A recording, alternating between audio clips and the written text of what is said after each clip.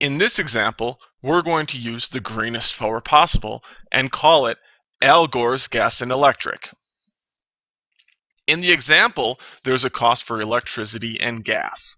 Gas is simple, while electricity has several factors that we'll discuss when we input them into trace.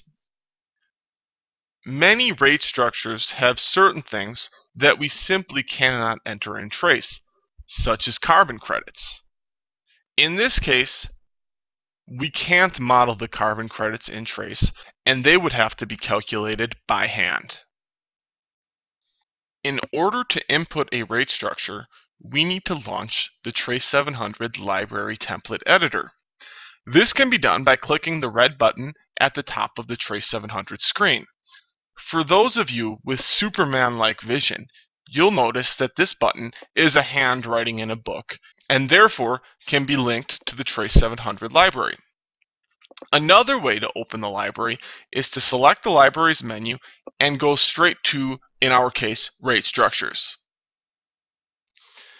Once in the rate structure library, we'll notice that the existing rate structures are available under the description.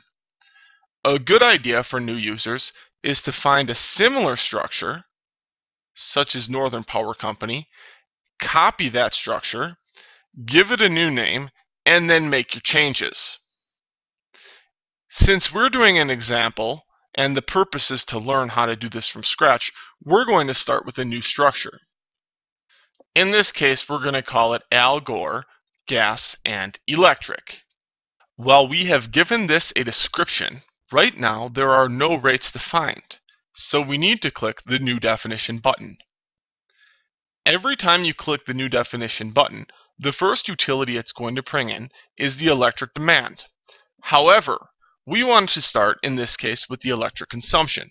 As you can see, there's a field for minimum charge, a start period, an end period, a rate type, a minimum demand percent, which does not apply to consumption, a fuel adjustment cost, and a customer charge.